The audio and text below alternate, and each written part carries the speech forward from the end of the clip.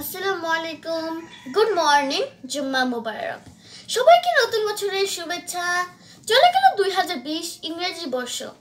এই বছরটা আমরা খুব খারাপ অবস্থার মধ্য দিয়ে কাটিয়েছি। প্রায় সারা বছর স্কুল ও কলেজ বন্ধ ছিল করোনা মহামারীর জন্য। আলহামদুলিল্লাহ, আল্লাহ পাক রব্বুল আলমিন আমাদেরকে এখনও সুস্থ রেখেছেন। দুই হাজার একুশ সাল এই বছরটা আমরা যেন অনেক ভালোভাবে কাটাতে পারি। সকল প্রকার বিপদ, আপদ, বালা মুসিবত এবং প্রাকৃতিক দুর্যোগ থেকে বেঁচে থাকতে পারি, আল্লাহর কাছে আমাদের এই প্রত্যাশা।